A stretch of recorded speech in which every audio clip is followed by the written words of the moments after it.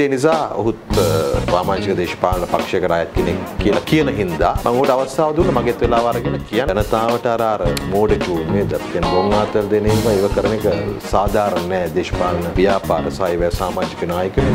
Channel 4 එකෙන් එලිදරව් කරපු දැන් කතන්දරයක් තියෙන පිටකොටුවෙන් රසායනික ද්‍රව්‍ය අරගෙන පොළොන්නරුවෙන් යූරියා අරගෙන ඉන්ටර්නෙට් එකෙන් ඩවුන්ලෝඩ් කරගෙන බෝම්බ හදන හැටි. ඒවා උදර්සාරා ජස්මින්ට කියලා ඉංග්‍රීසියෙන් දෙමළ ට්‍රාන්ස්ලේට් කරගෙන ඒ වගේ මෙවැනි හයි එක්ස්ප්ලෝසිව්ස් හදන්න පුළුවන් කියලා ඒගොල්ලෝ විශ්වාස කරාට ජනතාව විශ්වාස කරන්නේ නැහැ. ඕන මාධ්‍යයකට විශේෂයෙන් ප්‍රධාන පෙළේ විද්‍යුත් මාධ්‍යවලට ඒගොල්ලන්ගේ වෙච්ච න්‍යාය පත්‍රයන් තියෙනවා. ඉතින් අපි ඒ මාධ්‍ය කියව ගන්න ඕන ඒගොල්ලන්ගේ න්‍යාය පත්‍රය අවබෝධ කරගන්න. අපි මේ වැඩසටහන විකාශනය කරනකොට කේලි රඹුක්වැල්ල විශ්වාස බංගෙන් දිනලා තියෙයි. ලබන අවුරුද්දේ සැප්තැම්බර් 17යි ඔක්තෝබර් 17යි අතර දිනයකදී ජනාධිපතිවරණය පවත්වන්න ඕන.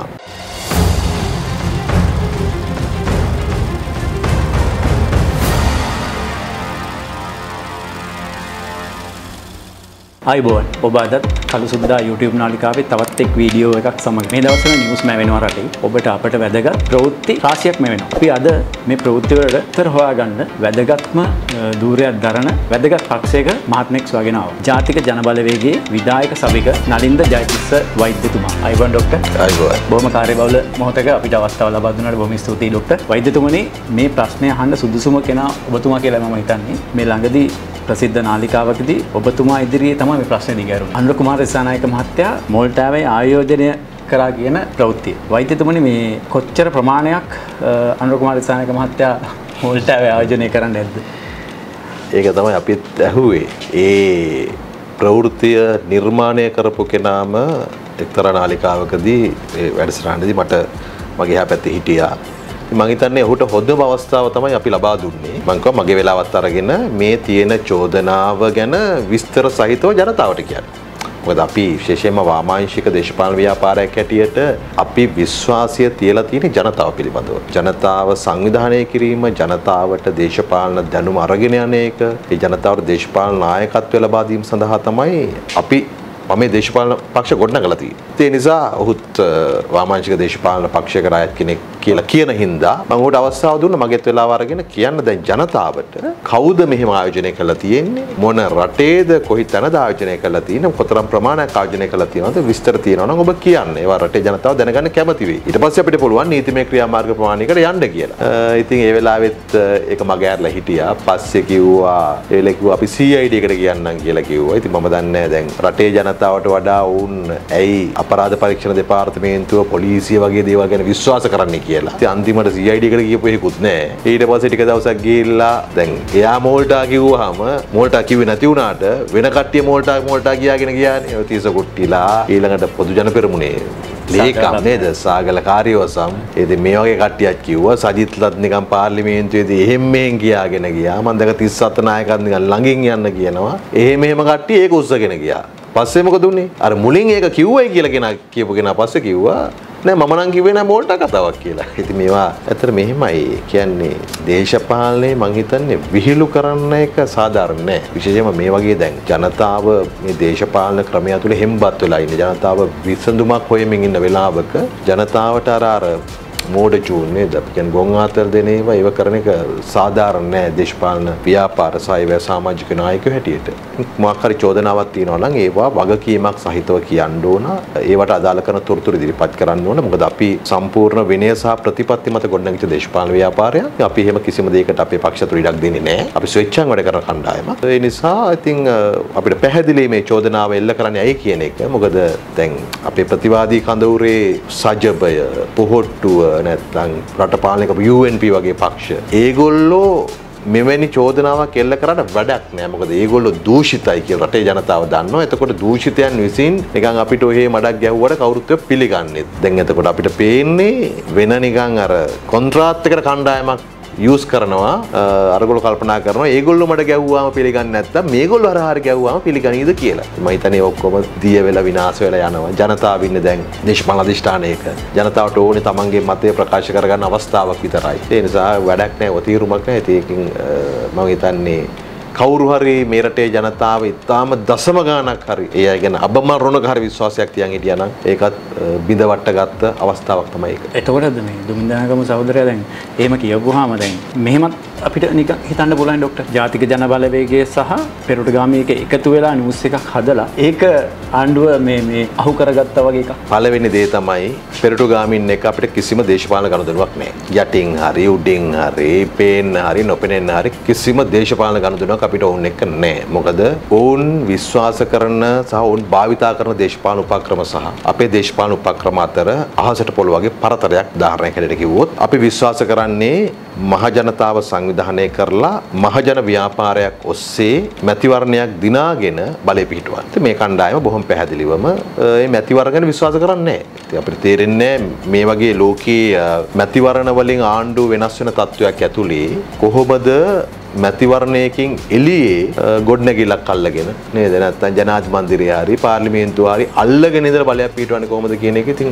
පැහැදිලි නෑ අපි විශ්වාස කරන්නේ මහජන අරගලයක තීරණාත්මක අවස්ථාවලදී එවැනි ස්ථාන අත්පත් කරගන්න වෙන්න පුළුවන්. නමුත් ඒව අත්පත් කර ගැනීම නෙමෙයි බලය කියන්නේ. බලය ඊට වඩා ඊට වඩා එහා දෙයක්. එතකොට ඒ කරන බලපෑම හරහා අපි මැතිවරණයක් දිනාගෙන ජනතාවට අවස්ථාව දෙන්න ඕන ඒ මැතිවරණයකදී තමන් කැමති කට්ටිය බලයට පත් කරන්න. එහෙම නැත්නම් අපිට බලහත්කාරයෙන් ආණ්ඩුව අල්ලගෙන ඒ තැන් අත්පත් කරගෙන පාලනය කරන වගේ එකක් අපි නෑ. ප්‍රධාන වශයෙන්ම මම කියන්නේ එක කාරණයක් හැටියට කිව්වොත් එතනම ලොකු පරස්පරයක් තියෙනවා. ඉතින් අපි විශ්වාස කරන්නේ පුළුල් බහුජන ව්‍යාපාරයක් පිළිබඳව. මේ රටේ මේ ආර්ථික ක්‍රමය ඇතුලේ පීඩාවට පත්වලා ඉන්න සකල විද ජනතාව, වෘත්තීයවේදීන් ඇතුළුව සියලු දෙනාම පෙළගස්සලා පුළුල් බහුජන ව්‍යාපාරයක් ඔස්සේ බලය ලබා ගැනීම අපේ අරමුණ. මම හිතන්නේ මේ කණ්ඩායම ඉන්නේ තාම සුළු තාම චූටි කණ්ඩායමක් උපයෝගී කරගෙන විවිධ ගේම් ගහලා මොකක් හරි එහෙම දෙයක් කරගෙන බලය ගැන උන්ට කිසිම අදහසක් නැහැ.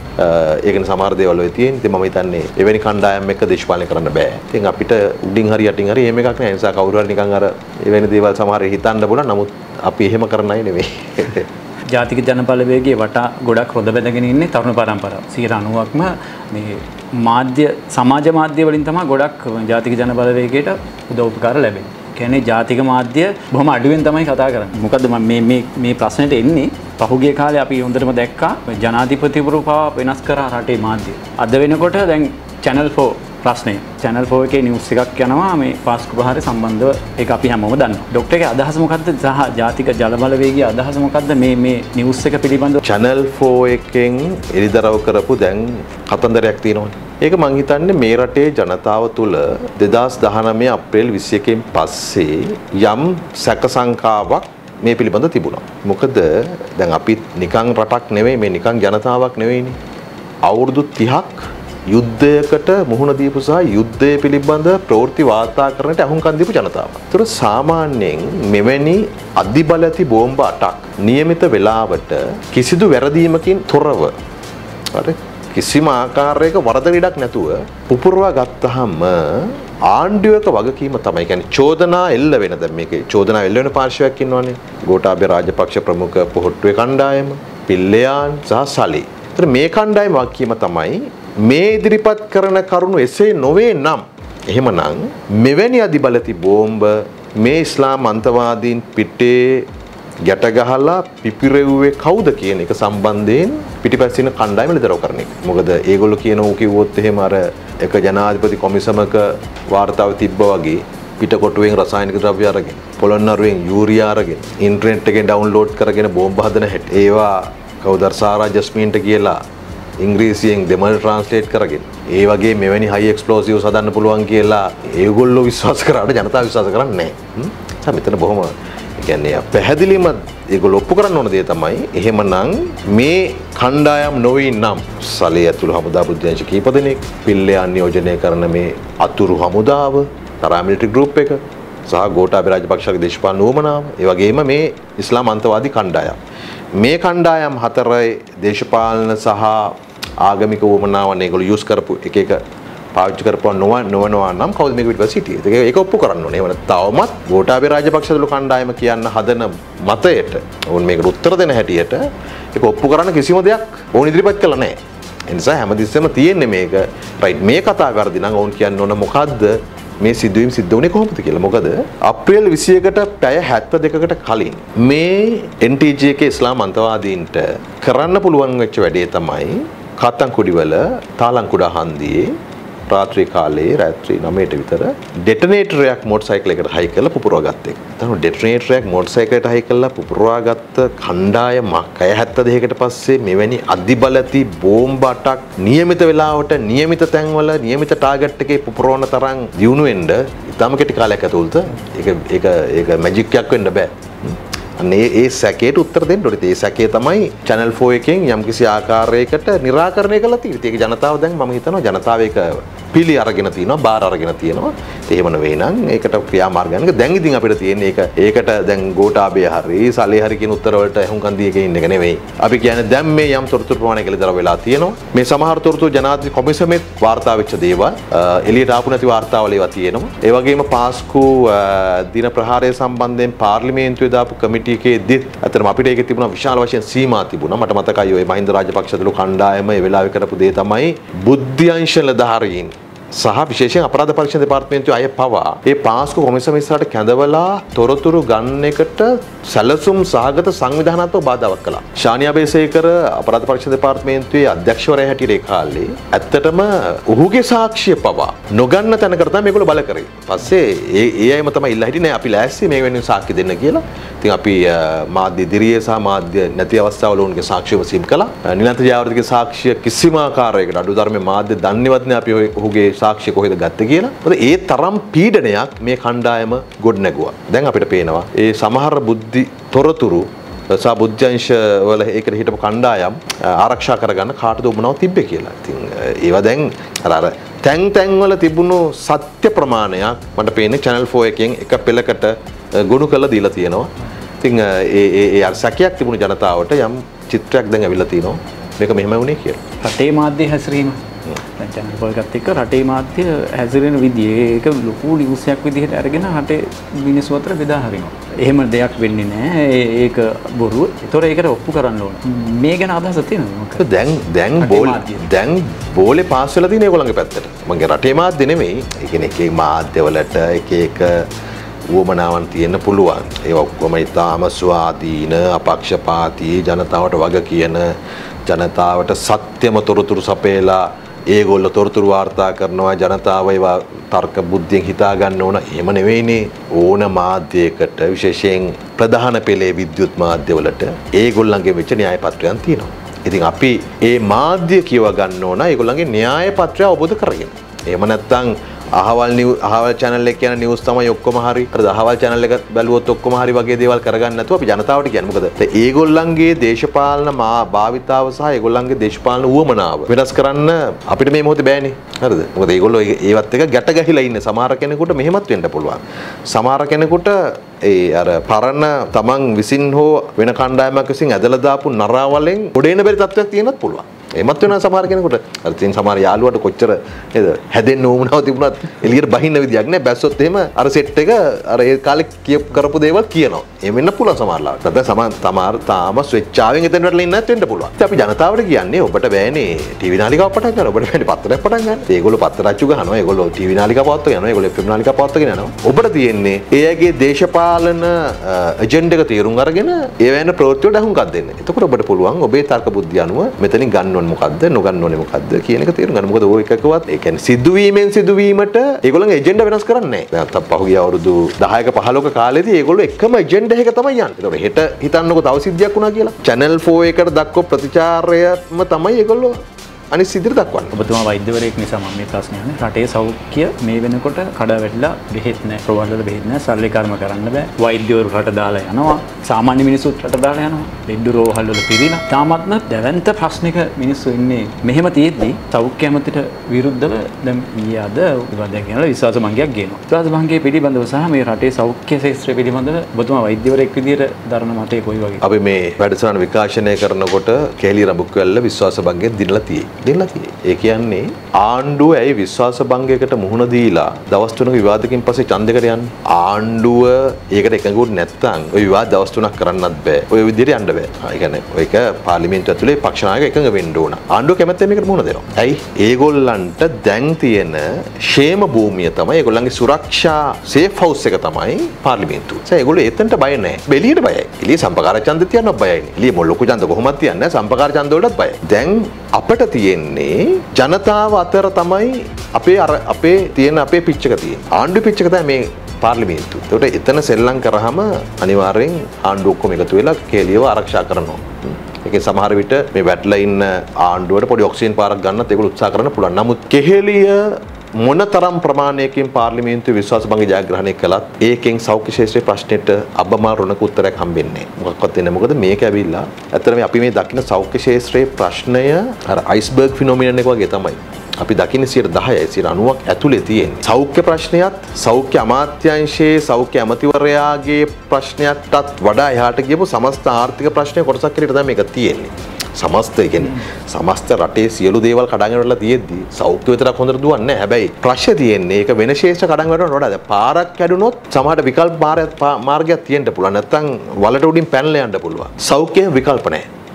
හරිද මේ එතකොට අපේ රටේ බදු ගෙවන අහිංසක ජනතාවට යන්න තියෙන තැන තමයි රජයේ රෝහල. කරගන්න තියෙන රජයේ රෝහලේ සත්කම. රජයේ රෝහලේ ෆාමසියෙන් තමයි බෙහෙත් ගන්න තියෙන්නේ. රජයේ රෝහලේ වෛද්‍යවරයතු කාර්යමණ්ඩලයෙන් තමයි තමන්ගේ ප්‍රතිකාර කරගන්න තියෙන්නේ. එතන අඩල්ලා තියෙන. එතකොට මේක බරපතල තත්ත්වයක්. මම කිව්වේ දැන් අපි කතා කරන්නේ සිදුවෙච්ච මරණ 10කට ආසන්න ප්‍රමාණයක් වාර්තා වෙලා තියෙනවා. ඒකට පැහැදිලි හේතු වෙලා තියෙන්නේ ලියාපදිංචි නොකරන ලද ඖෂධ කිසිදු ආකාරයේ තත්ත්ව පරීක්ෂාවකින් තොරව ගෙනල්ලා අපේ රෝහල් පද්ධතියට එකතු කරලා තියෙනවා. ඒ ඖෂධ ගන්නා ජනතාව තමයි සමහරට සර්ජරි එකට ලක් වුණාම නිර්වින්දන ඖෂධයක් නිසා මේ යන්නේ. එහෙම නැත්නම් ඇන්ටිබයොටික් නිසා මේ යන්නේ. ඉතින් මේකේ ආසන්න හේතුව ඇනෆිලැක්ටික් ෂොක් එකක් වෙන්න පුළුවන්. නමුත් ඇනෆිලැක්ටික් ෂොක් එකක් මේ තරම් ප්‍රමාණයකට එක මේ තරම් සිවිරිටිහින් එනවා කියලා කියන්න මේ ඖෂධය මොකක් ප්‍රශ්නයක් තියෙනවා කියන එක. හරිද? පරීක්ෂාවට ලක් කිරීමකින් තොරව අපේ රෝහල් පද්ධතියට ඇවිල්ලා තියෙනවා කියන එක. ඉතින් හොයාගෙන යනකොට අපිට පේන්නේ මේ NMR එකේ ලියාපදිංචි ලක් වෙලා නැහැ. සහ අනිත් පැත්තෙන් ලියාපංචි නොවූ ඖෂධ වුණත් හදිසි තත්වයක් තුළ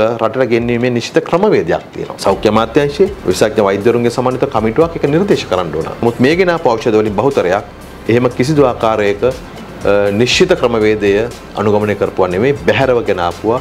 ඒකට සෞඛ්‍ය අමාත්‍යාංශ පැත්තෙන් උපදෙස් දීලා තියෙන්නේ මේවා ගෙන්නන්නේ ඉන්දියන් ක්‍රෙඩිට් ලයින් එකෙන් කියලා. ක්‍රෙඩිට් ලයින් එක ගෙන්න නිසා මුකුත් බලන්න ඕනේ නැහැ කියලා. මේක තාම වකිවිරුහි තත්ත්වයක්. එකක් එක පැත්තකින් බාල ඖෂධ. දැන් සෞඛ්‍ය අමාත්‍යසා සෞඛ්‍ය අමාත්‍යශී ඉහළපෙළන දාරින් පිළිගත්තේ නැන්නේ බාල ඖෂධ කියන જાතිය. නමුත් ඊයේ පෙරේදා NMR එකේ සභාපති ප්‍රොෆෙසර් ස්ටී ජයරත්න සිද්ධ වුණා බාලාෂධ කියන එක පිළිගන්න බාලාෂධ කියලා කියන්නේ નિયમિત ප්‍රමිතියෙන් තොර ඖෂධ. ඒවා සමහර විට ප්‍රමිතියට එහා ගිය දේවල් එකතු වෙලා තියෙන්න පුළුවන් නැත්නම් අඩුපාඩු වෙන්න පුළුවන්. හරිද?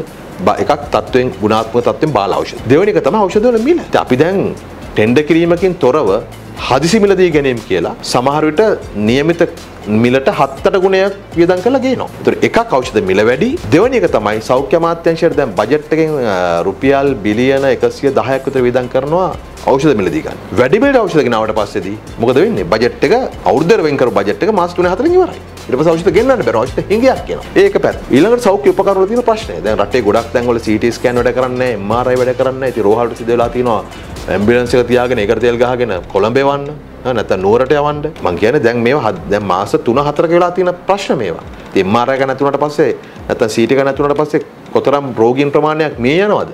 ඒතර ඒ වාර වාර්තා වෙන්නේ නැහැ මේ වගේ අර අර හදිසි වෙච්ච මරණ හැටියට. නිකන් ඔය වෙච්ච මරණ හැටියට තමයි වාර්තා වෙන්නේ. ඒක ඊළඟට මේකේ බරපතල ප්‍රශ්නය තමයි දැන් ඇවිල්ලා තියෙන්නේ. අපේ රටේ මේ තියෙන ආර්ථික තත්ත්වය පිළිබඳව මේ ආර්ථිකයට මුහුණ දෙන්න බැරි. කියන්නේ මෙච්චර බදු ප්‍රමාණයක් ගෙවලා ජීවත් වෙන්න බැරි. සහ අනිත් පැත්තෙන් දේශපාලනය පිළිබඳව රට ගොඩනැගීම පිළිබඳව මේ මොහොතේ විශ්වාසයක් තියාගන්න බැරි ජනතාව ප්‍රමාණයක් වෘත්තීයවේදී රට අතහැරලා යනවා. ඔවුන් කැමැත්තම යනවා කියලා අපිට පේන්නේ නැහැ. නමුත් වෙන කරන්න දෙයක් නැහැ. සමහරට ඔවුන්ගේ දරුවන්ගේ අනාගත ගැන හිතලා යනවා. නැත්තම් මේ පීඩාව බඩු මිල වැඩි එක වැටුපෙන් මේ විදිහට ටැක්ස් කැපෙන එක ඊළඟට වර්ක් ලෝඩ් එක සමහර රෝහල් වල ඉන්නේ එක නිර්වින්දන විශේෂඥ වෛද්‍යවරයා වෛද්‍යවරයා. එතකොට සර්ජිකල් සයිඩ් එකෙන් එනේවා. ප්‍රසව නාරි වේද පැත්තෙන් එනේවා. මේ ඔක්කොම සර්ජරි ටික කරන්න නිර්වින්දනය කරන්න ඕන ඒ විශේෂඥ වෛද්‍යවරයා විසින්. ඉතින් වර්ක් ලෝඩ් එක වැඩි. නිවාඩු නැහැ. ඒක දරා ගන්න බැරුව සමහර කෙනෙක් දාලා යනවා. හරි? එතකොට එහෙම නිර්වින්දන වෛද්‍යවරයෙක් දාලා යනවා කියලා කියන අර තියෙන සියලුම සර්ජන් අතර වෙනවා. දැන් ආණ්ඩුව ඒකට උත්තරේ හොයන්නේ කොහොමද? දැන් විශේෂඥ වෛද්‍යවරයෙක් කොයි හරි මූලික රෝහල මේ ප්‍රධාන රෝහලකින් ගියාම උදාහරණයක් ගත්තොත් අනුරාධපුර මහ රෝහලේ ළමා රෝග විශේෂඥයින් තුන් දෙනෙක් ගියානේ. ගියාම ඒ ඒකේ තිබුණු මහාචාර්ය ඒකකයේ කියන වෛද්‍ය පීඨයේ ශිෂ්‍යයන්ට උගන්වන මහාචාර්යක වැහුණා. එතකොට මොකද කරේ? ළඟපාත් තියෙන මූලික රෝහලකින් විශේෂඥ වෛද්‍යවරයෙක් එතනට ගේනවා. එතකොට දැන් අර අපි තමු තමුත්තේගම කියලා. තමුත්තේගම රෝහලේ ඉන්න කෙනා මෙතනට ගෙනාවාම තමුත්තේගමට ආය මාස ගාණක් යනකම් කෙනෙක් දෙන්න බෑ. දැන් කොහොමද දෙන්න බෑ. තමුත්තේක මේ සයිට් එක සම්පූර්ණ වැහිලා යනවා. හරිද? ඒකෙන් තමයි දැන්ට දැන් මහරෝහලක නැත්තම් ටීචින් හොස්පිටල් එකක තියෙන වේකන්සි එක පුරවන්නේ අර පර්යන්තයේ තියෙන මූලික රෝහල කියන විශේෂඥ වෛද්‍යවරයෙක් මෙතනට ඇදගෙන. ඉතින් මේක මේක කොච්චර කල් කරන්න පුළුවන්ද? මම දන්නවා සෞඛ්‍ය ශාස්ත්‍රයේ නිරත වෙන විශේෂඥ වෛද්‍යවරයාගේ ඉඳලා හෙදිය නැත්තම් පැරාමෙඩිකල්ස් ඔය ඔක්කොම ටික මාර පීඩනයකින් තමයි කටයුතු කරන්නේ. ලේසි නෑ. ඉතින් කියන්නේ දැන් රෝහලට බෙහෙත් ගන්න කෙනාට මුණ ගැහෙන්නේ සෞඛ්‍ය ඇමතිවා සෞඛ්‍ය අධ්‍යක්ෂකෙන්දාල්වත් නෙවෙයිනේ. අරහින් සෞඛ්‍ය කාර්යබලය කෙනා. ඉතින් ඒ ටෙන්ෂන් එක එය මතින් පිට වෙන අවස්ථාවක් නැතුවම නෙවෙයි. ඒ නිසා මම කියන්නේ මේක බරපතල තත්ත්වයක්. හැබැයි කේරණ බොක්කල් ඇමතිවරයා හරි රන්ලි ක්‍රමසිංහ ජනාධිපතිවරයා හරි මේ ප්‍රශ්නය එහෙම ගැඹුරින් තේරුම් අරගෙන නැහැ. උන්ට මේක උන්ට එක වැඩක් නැහැ. ඒ කියන්නේ මෙහෙමයි. ඒ අය ප්‍රතිකාර ගන්න රජ්‍ය රෝහල නෙවෙයි. ඒ අයට මොකක් ප්‍රශ්නයක් වුණොත් සිංගප්පූරේ මවුන්ට් එලිසබෙත් එක තියෙනවා. නැත්තම් එංගලන්තය යන්න පුළුවන්, ඇමරිකාව යන්න පුළුවන්. අවත් තවත් අවශ්‍ය වුණොත් එහෙම ඇමරිකාවෙන් වෛද්‍යවරු මෙහෙට ගෙනල්ලා රජයේ රජයේ පුජ්‍ය රෝහල මොනාරි කරගන්න පුළුවන්. මහින්ද රාජපක්ෂ කරගත්තා වගේ. එහෙම නොවුනහම ඉතින් මේ මේ සාමාන්‍ය ජනතාවගේ ජීවිතවලට මොකද වෙන්නේ කියන එක අදාළ නැහැ. ප්‍රෙෂර් එකේ පෙත් හයිපර්ටෙන්ෂන් වලට දෙන පෙත්ත බාල වුණාම ඒකෙන් රුධිර පීඩනය අඩු වෙන්නේ නැතුව ජීවත් වෙන්න තිබුණ අවුරුදු 10න් දෙක තුනක් අඩු වෙන්න එක අරගොල්ලන්ට ගාණක් නැහැ. මේක තමයි තියෙන ප්‍රශ්නේ. කියන්නේ කිසි තෙතමනයක්, කිසිම හෘදයාංගම් බවක්, කිසිම මනුෂ්‍යත්වයක් නැති පාලක කණ්ඩායමක් එක්ක තමයි අපි මේ ගනුදෙනු කරමින් යන්නේ. මේක තමයි තියෙන බරපතලම ප්‍රශ්නේ. ඉතින් ඒකටම හරියන කෙනෙක් ඒගොල්ලෝ ජනාධිපති කරගත්ත රනිල් වික්‍රමසිංහ නේද? වියලි දරකෝටුවක් වගේ කිසිම හැඟීමක් නැහැ. ඔහුට සියලු දේවල් සමහරව විහිළු දැන් මේ දවස්වල මම දකිනවා ඉස්කෝල ළමයි ගිහලා විහිළු කර කර ඉන්නවා. මේ මේ මේ බරපතල ප්‍රශ්නෙට ඒ බරපතල බව තේරුම් අරගෙන දේශපාලනිකව මැදිහත් වීමක් අපිට මේ ආණ්ඩුවලින් පෙන්눔 කරන්නේ මේක තමයි තියෙන ඛේද වාචක නැත්නම් අපිට සෞඛ්‍ය ප්‍රශ්න කතා කරලා ඉන්න පුළුවන්. හෙට අපි ආර්ථික ප්‍රශ්නය වෙන පැත්තකින් කතා කරමු. නමුත් මේ සමස්තය හැටියට ගත්තට පස්සේ එකක් මේගොල්ලන්ගේ වැරදි ආර්ථික සැලසුම්. දෙවෙනි එක ඒගොල්ලෝ කවදත් මේ වැතුලේ කරන දූෂණය සානිත් පැත්තෙන් ජනතාව කෙරෙහි කිසිදු හැඟීමක් නොමැතිකම.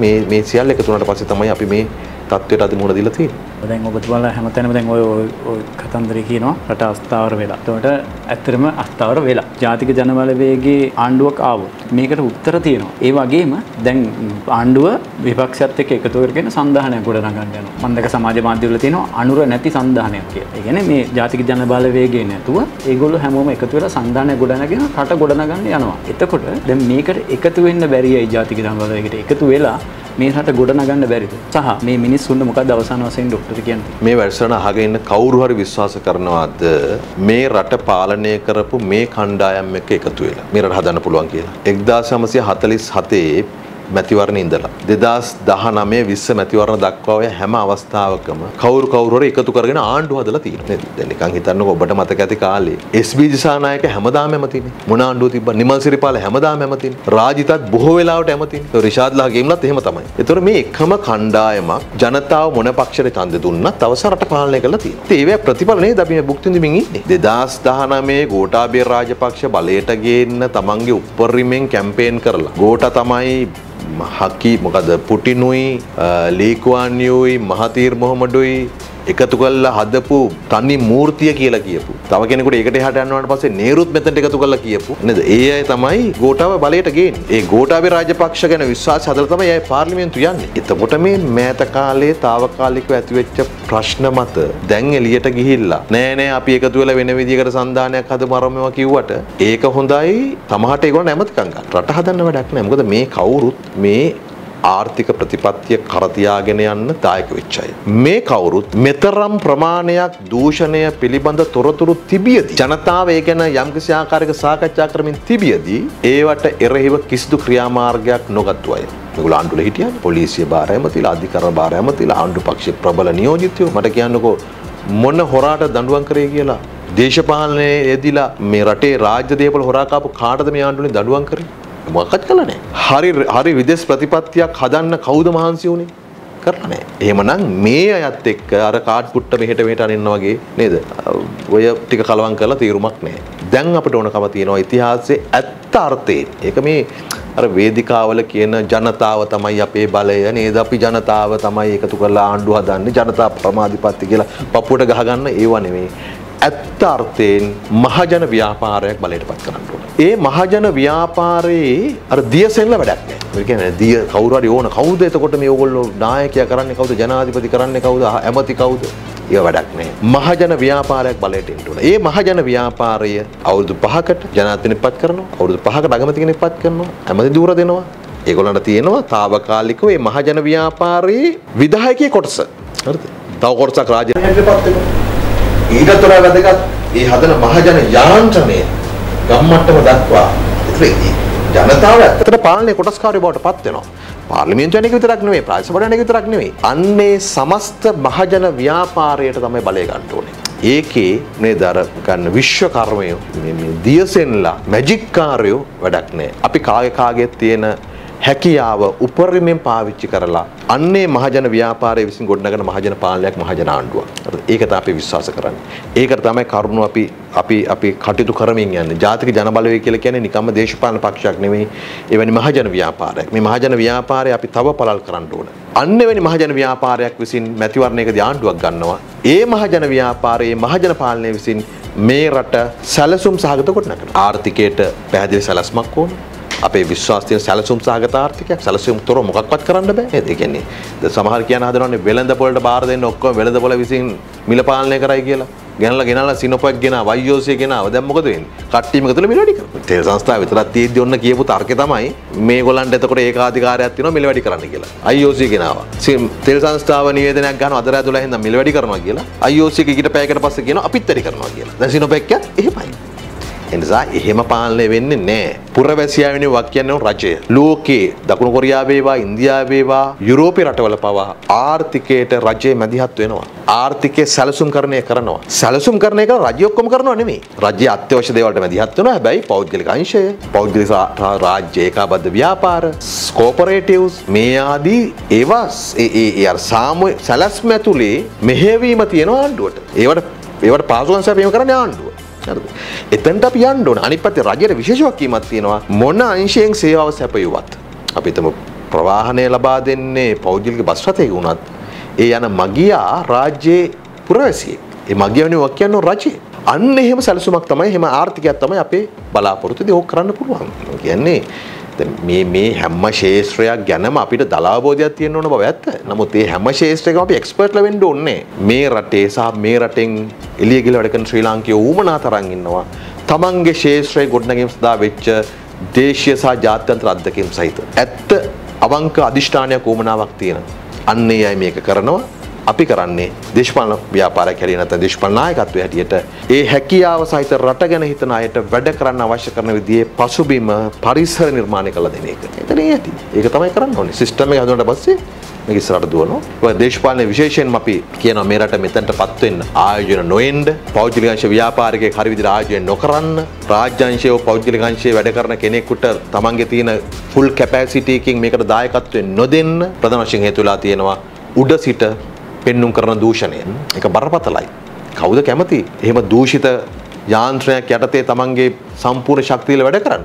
රාජ්‍ය සේවයට පළම ඇතුළෙන අද ඇතුළෙන කෙනාගේ අධිෂ්ඨානය තියෙන කොහොම රට වෙනුවෙන් සේවයක් කරන්න කියලා. ටික දායක් යනකොට තේරෙනවා මේක එහෙම එකක් වැඩක් නෑ මේක අන්ත දූෂිතයි කියලා. ඒ නිසා දේශපාලන දූෂණය උඩ ඉඳන් නවත්තන එක අපේ කාර්යභාරයක්. ඒක සාමාන්‍ය තනි තනි පුරවැසිට කරන්න පුළුවන් වැඩක් නෙමෙයි. ඒක නීතියෙන්, අධ්‍යාපනයෙන්, සදාචාරයෙන් අපි කරන්න ඕන වැඩක්. අන්න උඩ ඉඳන් පටන් ගන්න. ඒ වගේම මේවත් එක්ක. එතකොට දැන් මේ මේ දෙක් කරනකොට අපි ලංකාව කියන රාජ්‍යයට දැන් තියෙන කළු පැල්ලම් ඉවත් කළා. නේද? මේ දූෂිතයි කියන හංගොඩු අයින් කළා. අපි මේක රීබ්‍රෑන්ඩ් කරනවා. ලෝකෙට අලුත් රටක් හැටියට අපි ඉදිරිපත් වෙන්නේ.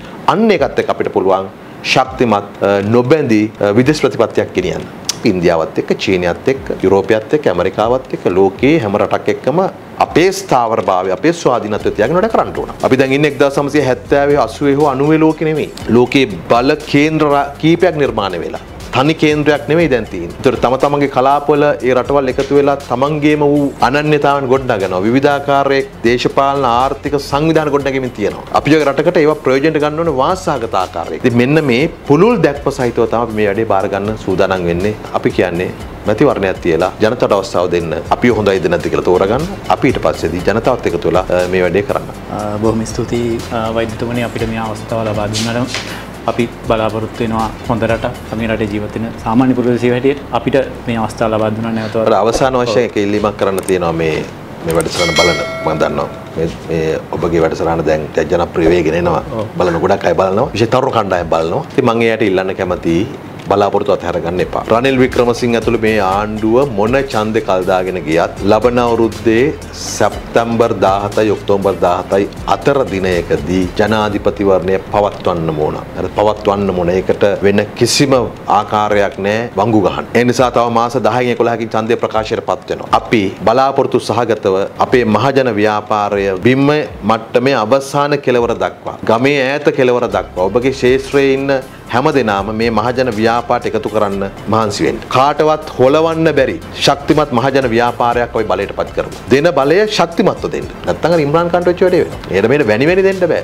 ශක්තිමත් බලයක් දෙන්න අපි අවශ්‍ය කරන නීතිත් වෙනස් කරලා අලුත් ව්‍යවස්ථාවකුත් හදලා මේ දේශපාලන දූෂණ දඬුවම් කරලා අපි රට හොඳ තැනකට ගේමු. ඒ වෙනුවෙන් මම දන්නවා ඔබට සමහර විට දැන් ඔෆර්ස් ඇවිල්ලා ඇති. පිටරට වලින් නේද? දැන් අවස්ථා හොයමින් ඉන්න ඇති. යන්න කලබල වෙන එක නෙවෙයි වැඩේ. ඔක්කොම එකතු වෙලා තව මාස 10ක 11ක් උත්සාහ කළා බලයක් හදමු. එතනින් එහාට මේ රට ගොඩ ගන්න පටන් ගමු. අතහරින්න එපා. අපි ඔක්කොම එකතු මේ ගමන යමු. අපිත් අපිත් මේ ස්විච්චාවෙන් කැප වෙලා අපි හැමෝම ස්විච්චාවෙන් කැප වෙලා තමයි මේ සමාජ සත්කාරය කරන්නේ. මේ අපි අද එනවා කියපු වෙලාවට පරක් වෙලා අපි ආවේ බොහොම මේ සමාවෙන්න කියලා මේ වැඩසටහන දී මම කියනවා මේ ඒ වගේම මේ අවස්ථාව ලබා දුන්නට ඔබතුමාට බොහොම ස්තුතියි. හොඳයි.